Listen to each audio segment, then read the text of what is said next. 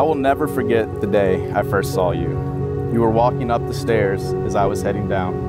In that moment, I turned around because even then, without knowing you, I felt drawn to you. As if the universe was telling me you were someone I couldn't let slip away. That was the first time I had ever listened to my heart. Though being here with you now, I realize love is not just something you feel. Love is something you do. It's a choice, it's an action, it's a commitment. But even more, it matters why you love, how you love, and how long you choose to love. Jasmine, I love you because of who you are. The intellectual I can bounce ideas with, the nurturer who brings warmth into life, and the hard worker who can overcome any obstacle. I love you for how you've made me a better person. You've challenged me, you've supported me, and trusted in me when I was making life-changing decisions for the both of us. I vow to love you with habit and intention, to love you with patience when times are hard, with passion when times are bliss, and with unwavering dedication in all moments in between. I vow to love you for a lifetime. Today, through this covenant, I give you my heart and my promise to love you, to honor you, and to cherish you with every moment forever.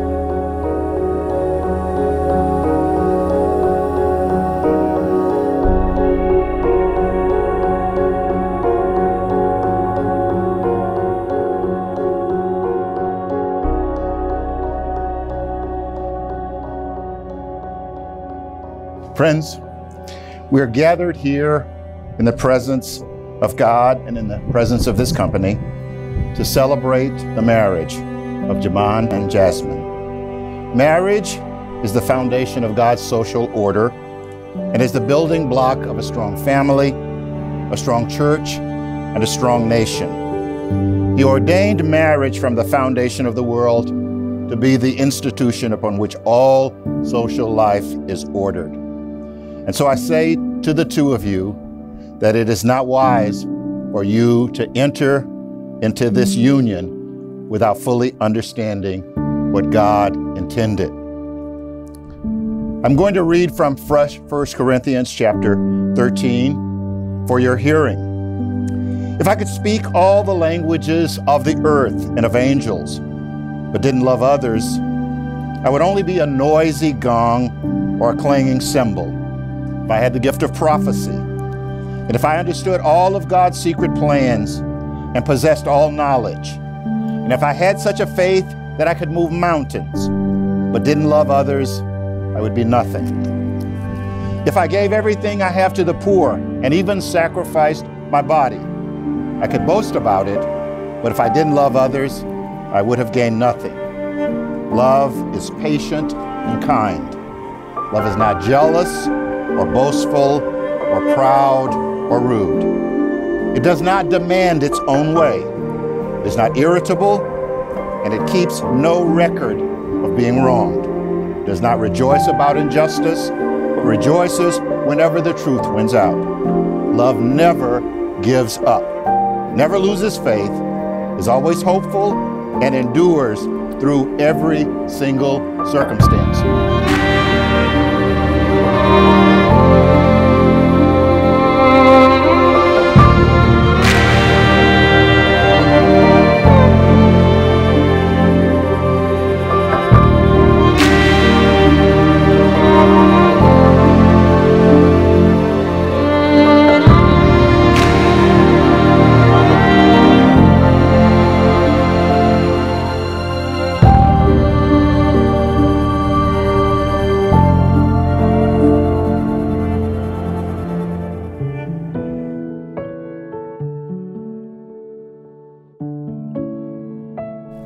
Always knew this day would come since the beginning.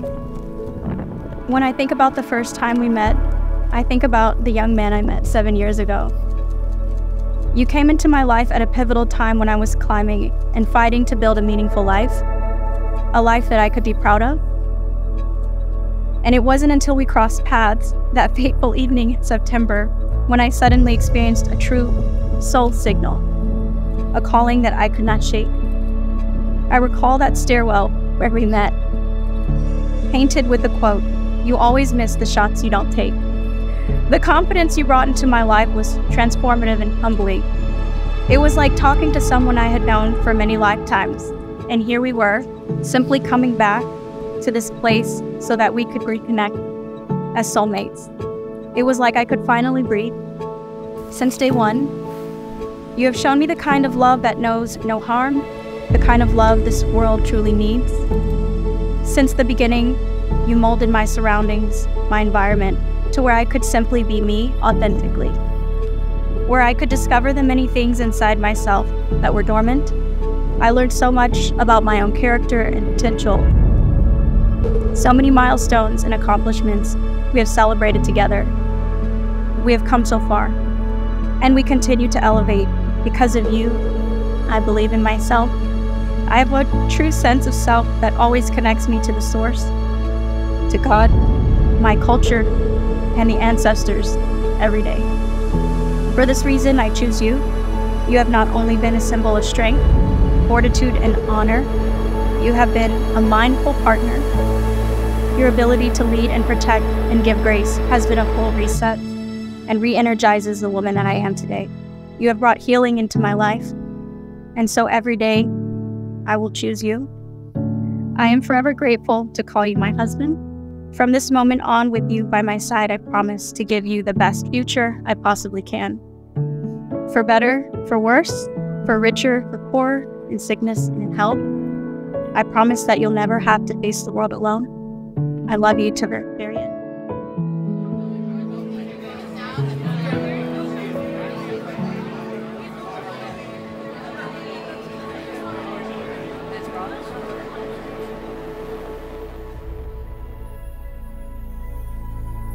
Today is a special day as Jasmine and Javan are joined in marriage.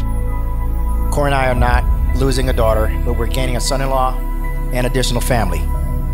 There will be ups and downs, but that is where your love and respect for each other applies. Try not to argue over differences. Always, my wife may say that's like the pot calling the kettle black. As long as you keep God in your prayers and in your life regularly and stay faithful to one another, you will be blessed. May God bless you both and begin your lives' journey together. We love you.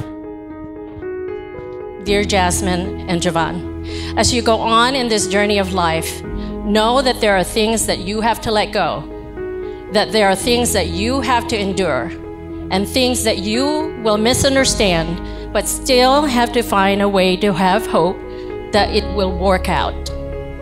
But there is also joy in knowing that someone loves you and cherishes you, someone that you can have fun with, someone that you can grow old with. And when you are running out of excuses why you want to stay with this person, be resolute to turn to God and give it all to Him because it is only in Him that your dad and I find and experience His grace, mercy, and love. Son, the family shares your excitement that you expressed over Jasmine the day that I got the news after you met her the previous day. And Jasmine, my precious daughter, welcome to the family. We are so honored and happy to have you. I am so thankful for both of you and how well Jasmine and Jay, you complement one another in such a graceful way. Everybody has their own style, and I love the grace that you two have. And Jasmine, Jay, I'm there for you guys, and I'm your. When mom can't be there for you, I have your back. I would treat you, I would treat your daughter like she's my very own. Don't worry, I got her back. Javan, I know you're gonna take care of her because I tried my best to set a strong foundation for this very moment. And it's up to you to build from this foundation because this is a, a new chapter in your life.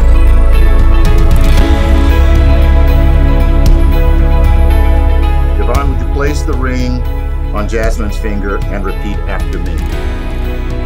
With this ring, With this ring, I confirm my commitment to you. I confirm my commitment to you. Everything I own belongs to you. Everything I own belongs to you. Everything that I am belongs to you. Everything I am belongs to you. Everything that I will become belongs to you. Everything I will become belongs to you. I make this pledge I make this pledge in the name of the Father, in the name of the Father, in the name of the Son, in the name of the Son, in the name of the Holy Spirit. in the name of the Holy Spirit.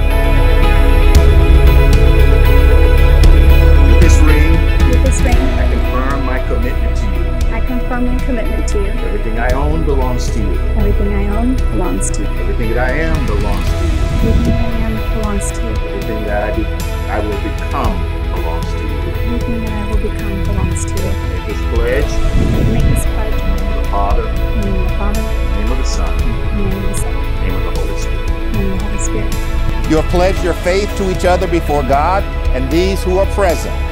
In view of your stated commitment to each other and considering that you have exchanged rings as tokens of that pledge, I can now affirm that you are husband and wife